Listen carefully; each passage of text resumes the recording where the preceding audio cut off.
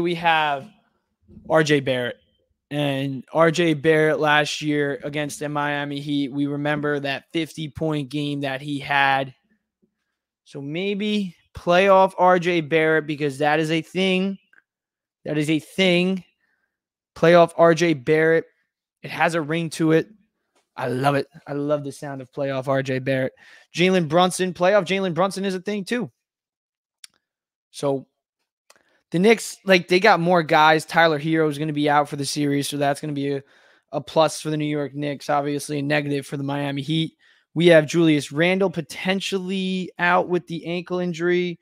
I'm looking right now to see the uh, the current update. Earlier today, there was no official update on what's going on with him. Hopeful that'll play in game one 25 minutes ago. Yeah, he was limited at practice a couple hours ago.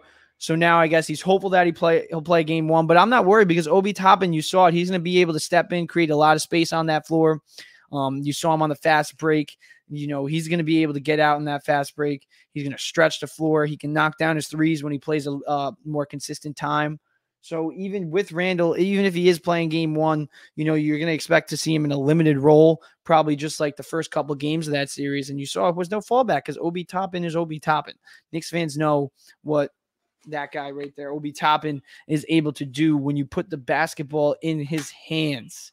He's a beast. And even on defense, you know, he's he's good. He can get up there and he's chasing down offensive rebounds, chasing down defensive rebounds. He's a physical guy um, on both ends of the floor. So, and he's a guy who brings energy, especially when the Knicks have home court advantage this series. And Obi Toppin dunk, nothing ignites the crowd more right now Nothing ignites the I, like in the history of the Garden. I don't think anything has ignited the crowd.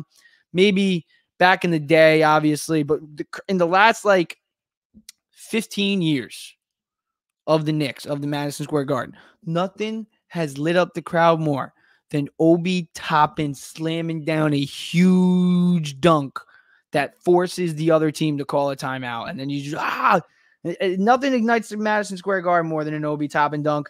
So Obi Toppin, I'm I'm pumped up for uh to see him play a couple more big games with the Knicks. But let's go over my bold predictions for this series. I got three bold predictions. One, I think Knicks fans really start to fall in love with Thibs. Obviously, Knicks fans are starting to fall in love with Thibs with the adjustments that he made in the first round of the series.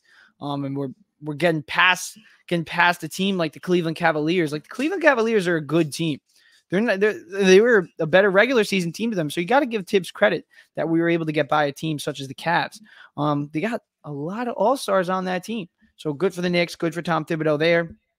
My second bold prediction RJ Barrett will be the series MVP. Maybe it's not a bold prediction because of the way that RJ has been playing, actually, but maybe it also is a bold prediction because of the way that Jalen Brunson has been playing. So I think RJ Barrett will be the series MVP, though, over Jalen Brunson. I think we could see multiple 25 plus point games.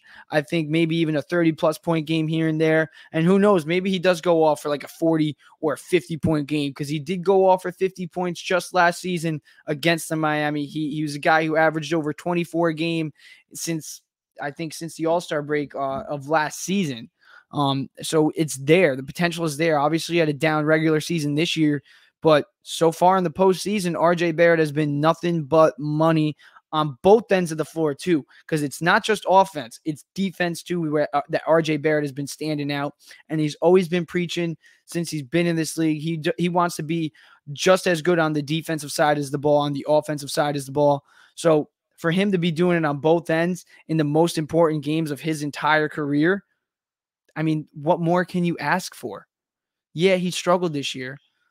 But if he's not struggling in the most important games of his career so far, I think that's what that's what really matters. Because Julius Randle, I mean, you got to give him credit. Without Julius Randle, we wouldn't be here, but we wouldn't be in the second round of the playoffs if RJ Barrett wasn't here.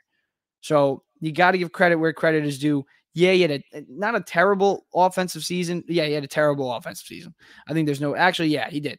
He had flat out RJ Barrett did not have a year of RJ Barrett standards. And he hasn't been in the league obviously for too long, but it was a down year for him. No better way to put it. So for him to come out here and make up for it in the playoffs and play like the RJ Barrett that Knicks fans know RJ Barrett can be, because he was the third overall pick. He's obviously Zion and John Morant went over him, and John obviously makes more of an impact than RJ Barrett because the Grizzlies are very, very, very good team. But Zion, I mean, you can argue that RJ Barrett is he's a better player than Zion Williamson right now. I mean, if they both retired, RJ Barrett, I mean, obviously none of them would go to the Hall of Fame if they retired today, but RJ would have a better chance of he would have a better legacy than, than Zion, and he already does. Because Zion obviously sitting out of playoff games and RJ Barrett showing up in the playoffs. So there you go, you Zion lovers. Um, so yeah, that's my other bold. That's my last bold prediction. Oh no, my last bold prediction is Obi Toppin will shine. I think Obi Toppin, if he gets a start here and there with Julius Randle out, I think we could see him go off for 20 plus points and put himself on the map because he's already on the map of New York, but he's going to put himself on the map big time. So Obi Toppin, big series. That's my other bold prediction. Other bold prediction: Knicks fans really fall in love with Thibs. Like no one has anything to say bad about Thibs after this series. And then my third bold prediction, obviously, is RJ Barrett, the series MVP. Playoff RJ Barrett. It's a real thing.